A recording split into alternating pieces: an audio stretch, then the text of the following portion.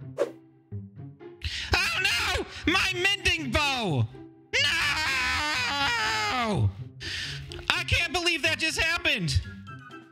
My precious mending bow! So that, ladies and gentlemen, is exactly what Prowl wanted to happen. Uh, but uh, unfortunately for him, BluJay's a little bit smarter than that. The birdcage for naughty birds who mess with people's roofs. Now, if you don't know what this is about, I did I did Prowl a service. I cleaned his roof off because it was dirty. It was all green and yucky and crusty, and I made it all shiny and bronze like a penny again. I mean, it's been a little while since uh, since we cleaned this off. I, I, I guess we could clean it again, right? Let's get out of here before he gets mad. okay, we're gone. So this right here, the birdcage, was Prowl's attempt to uh, uh, retaliate against me for cleaning his roof off. Uh, and actually, I blew up one of his roofs with TNT by accident because he blew up one of my, my, my he blew up one of my pirates on purpose. The war continues. We gotta clean this mess up, and and then I log in today and I find this out. I'm not even impressed, Prowl. I'm not even impressed. Look at this. You ready? We go into the pirate ship. You're gonna have to try much harder if uh if you're gonna get the old BluJay. Release the Kraken v- very s- slowly. I'm still trying to figure out what I want to do with this thing. I haven't decided. Enjoy the new aquarium. It's a perfect uh, a perfect use of your fishing hut. I even supplied the fish for you. Here you go. Guys, we've got a ton of progress done on the stream uh, that I'm on right now live. Like, good gracious, this thing looks so different now that it's got all the blackstone and basalt and deepslates all mixed in there. Now, don't get me wrong, we are nowhere close to being done with this. We've got all of this side over here. We got the back side. We got to cover up the dripstone farm. We got to work out the back cave, get rid of the rails. We got all sorts of stuff left to do, but we are making bits and pieces of this thing uh, finished as we can go about it. But you know what? I'm just, I'm so excited about this. I cannot wait. I cannot wait any longer. Uh, you might see a torch there. There's a couple torches up there. Uh, there's a few parts of the volcano that look a little bit unnatural because we've actually pathed a few things out here. We're going to head up here and we're going to get our first lava fall. We got actually two of them going. So here we go. Ready? Three, two, one. We'll drop some lava here. And we'll drop some lava here. Oh my goodness. Oh my goodness. Oh, I'm on fire. Why am I always on fire? Let's actually break that torch and then we'll toss that one right there. And then we'll take a quick step back and you'll see uh, that this is actually looking really, really cool so far. And this one is actually going to fall down and kind of fill in this side area, but then this one's not going to go any farther over this direction. It's got a nice flow. It disperses quite a bit at the bottom, but it stays pretty thin at the top. Really, really, really, really, really love this. All right. So then the next thing that we're going to do while that's finishing up this other torch, we're actually going to go up here and we're going to act like a, a little bit of lava has burst through the side of the volcano as well, because you know that can happen. So we're going to we're going to break that torch, and then really quickly, because you know we're going to get burned. Uh, we're going to toss one here. We're going to toss one there, and then we're going to go. Ouch! We're on fire again. Ow! Ow! Ow! Ow! Ow! Ow! Ow! Ow! And then we've pathed this area out as well, so it will never intersect or interfere with the original lava fall, which is just about done. Let's go ahead and back up and take a look and see what we've got. oh, that's looking so good. Oh, I'm so happy. BluJay's happy. Happy bird. We are over here at the bridge that leads to nowhere, except for kind of the lava farm back here. And we're going to fix that today. We're going to put in an entrance right here that leads into our super smelter room. And just like that, with the magic of editing, we've got a tunnel all dug out, and I actually really like the way this turned out. This is not decorated yet, so keep in mind, it's not going to stay like this, but I absolutely love that this tunnel uh, kind of pokes out the side of the mountain, and then it weaves down here like this, and then it kind of comes out the side of the mountain again, so we can see our pirate ship and our hilltop village and our creeper farm and our fish farm. We can see everything from here, which is really fun, and then it weaves on back down into the furnace room. So you're probably going to say in the comment section, uh, why are we doing a hidden door if all we got to do is, you know, get our elytra and fly in right here and we've got access to the base? Well, you know, I really didn't think that through before we started digging. I didn't realize it was going to come out the side of the mountain. It just kind of happened and it looks cool. So we're going to keep it. And honestly, maybe at some point we'll put another door right here make it look like it just leads to a dead end, and then you push a button, and then it goes on into our furnace room. So we might have a couple of these piston doors hidden throughout the base, but we're going to start with the top up here. And the first thing that we're going to do is we're going to take a piston and we're going to put it right here, and that is a sticky piston actually, and then we're going to put another one right next to it, and then we're going to put another one right here in a little bit of an L shape. Then we're going to mirror this on the opposite side, just like so. Then temporarily, because this is a dirt uh, hillside, it's got some stone here. I'm not exactly sure how this is going to get decorated yet, but for now, we're going to put dirt blocks right there, just like that. And then we'll build this up one more so that our doorway is too high. And now that I think about it, I think I'm going to push this back just a little bit further into the side of the mountain because I don't want any of the redstone popping out the front. And we don't have a ton of room to terraform with, so I'm going to push this back, and then we'll keep going. I'm only going to show you how to do one side of this for now because it will be mirrored exactly the same way on the opposite side. So let's get rolling with it. We'll go ahead and place two blocks right here. Those can be any two solid blocks of your choice. They do have to be solid though. And then we'll put a redstone dust here and a redstone dust there so that when these blocks become powered, this block will power that piston to push it forward. This redstone dust will power that piston to push it forward. And this redstone dust will power this block and that block to push those both forward. And just a quick demonstration with a redstone torch. All four sticky pistons have pushed their respective blocks forward, the two blocks here and the two sticky pistons there, uh, effectively closing off this side of the door. Now, we actually want this to push forward as well, so we need a way for these two sticky pistons to extend their block forward. We'll get to that here in just a minute. And as always, we will make sure to explain how this all works when it's wired up.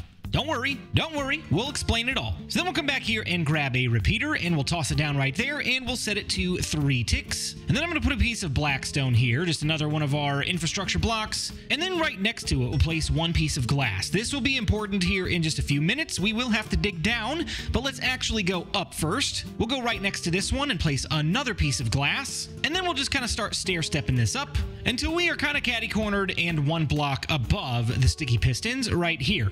Then we're gonna take another piece of glass and place it down right here. And then we can also go here and here, and then one piece of blackstone. What we're going to do from here is take a redstone dust line and run it all the way up to the top until it hits that blackstone right there. So now if we take our redstone torch and power this right here, you'll see that not only have we pushed these pistons to the side, this back sticky piston has been extended forward, because this block right here is technically powered, which powers the piston by default. If we break this, it will retract and go back to its normal state. This right here is why it is so important to have a repeater set to three ticks because when we power this thing, we actually want this to be slightly delayed from this one right here so that when the door goes to open, these pistons retract first and then these pistons retract second. If these pistons retract first, then it's not actually going to grab this block because it's still technically going to be forward and it's just going to retract the piston and leave the block in place. So now we actually have to go down underneath the contraption just a little bit because we need a way for this piston to extend and push that block forward as well. So we're just going to dig right here a little bit. Nothing too crazy. We'll place another piece of glass right here. And because of the way that glass works, redstone does go through the corners of glass and we can go ahead and place one redstone dust right there and the line will continue on down here. And then we do need to be careful with how we set this up. We don't want to accidentally power this piston with the line below, we only want to power this one. So how we're going to accomplish that is by going right here and going one, two, three, and then we will weave over, we'll go one here, and then we'll just replace these for good measure. And this will eventually get replaced with our permanent path, but this will serve as the powered block that will actually close the door. So we'll grab a repeater and place it down right there. We'll make sure to leave this on one tick, and then we can go one, two, three, and four so that this redstone dust is running directly into that block. And let's go on back up top here, and we'll give it a quick test. If we drop our torch down, bada bing, bada boom, both of our pistons have now pushed forward, and this is effectively blocking the entrance. And if we retract it, it'll go ahead and open up, and it'll close, and it'll open up, and it'll close, we actually want to line this area right here with blocks that would kind of blend in. Just for an example really quick, if we block it off like this, and let's pretend this has gone all the way up to the mountainside, uh, we have no idea that there's an entrance here. if we've got a button hidden somewhere that will activate this redstone torch, we can open up a hidden entrance, walk through, and then it can close behind us. That's the end goal. Now, we've got a couple more things that we got to do before that's possible. So let's dig this stuff back out and we'll keep going. Quick demonstration here. Both sides are now linked up. If we go right here, it will open that side. And if we go right here, it will open the other side, or close rather, because this is the closed position. So now you see the problem here, right? We can't afford to be going over here and going boop, and over here and going boop to power this every time we want to open and close the door, we need some sort of a system that will unify this to where we can press one button, push one lever, whatever we want to get the whole thing to react when we want it to. So here's how we're going to do that. We're going to grab a piece of dirt and we're going to leave a one block gap in between this piston right here and this block right there. And this is going to be our trigger point. And then out of the side of this block facing this direction, we're going to have a repeater set to one tick. And then we're going to go redstone dust, redstone dust. And then we'll do a comparator here. We'll dig this out just a little bit more just to give ourselves some room, and then redstone dust, redstone dust, and a comparator right here. And now I see that poses a bit of a problem. I don't think we had this issue in my testing world.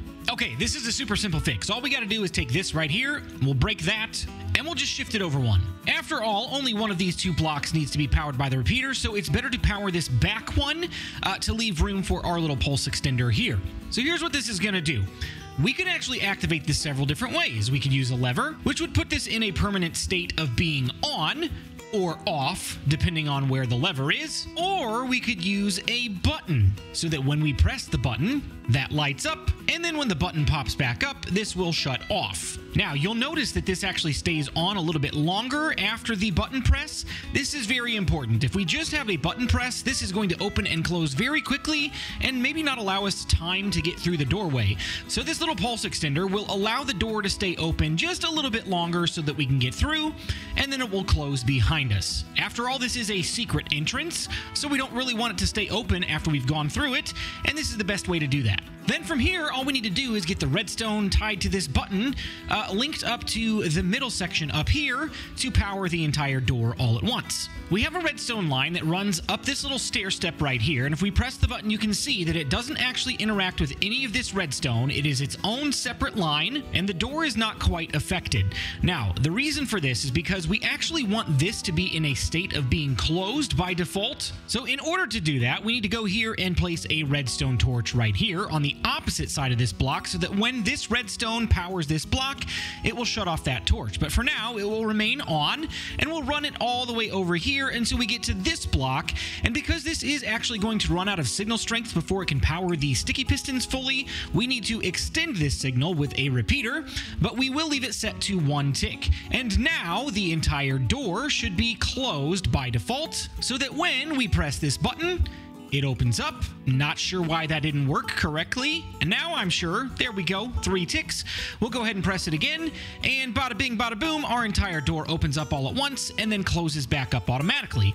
So when we press the button, we can run on through and the door will close behind us as if nobody was ever there. Now, we're kind of trapped in here, and I don't know exactly what I'm going to do about that just yet. I thought about maybe putting a second set of piston doors here uh, so that we could activate them and both would open up at the same time, uh, but that'll be something I do off camera because this is basically done. And whatever we end up deciding to do, I will show you and demonstrate off camera, but before we get into that, let me actually explain how this contraption works because we haven't done that yet. So here we go. From the top, what happens when you press this button? It will send a full signal strength into this pulse extender so that whenever this button is pressed and it pops back up, this actually has a few extra seconds of power, even though that button is no longer powering the actual block and contraption.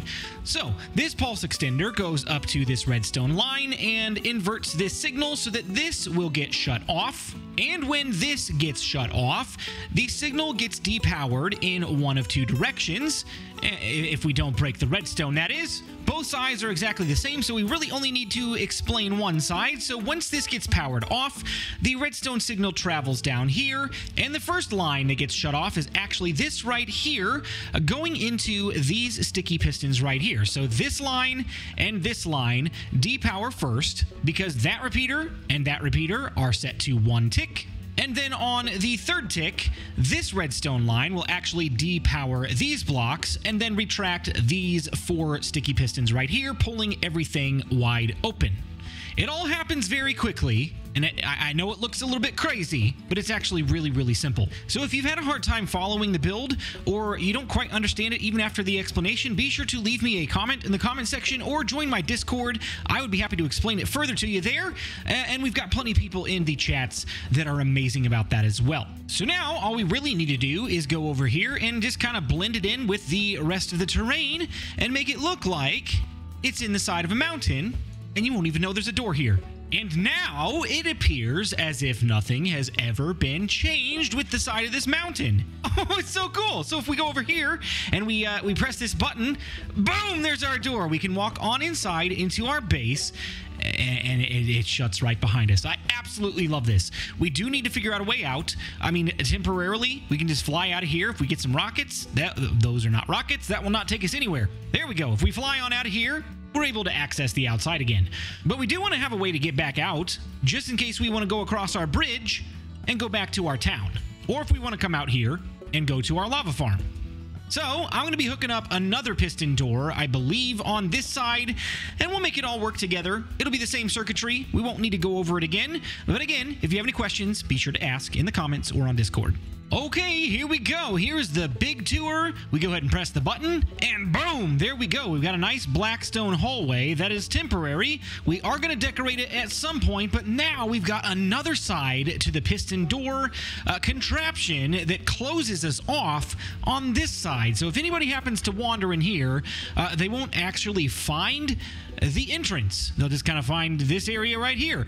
And what we can do at some point, we're not going to do this today, but we can put another one, maybe like right down here just so if anybody happens to fly in here, it just looks like a cave that's been dug out of the side of the mountain and it doesn't lead anywhere.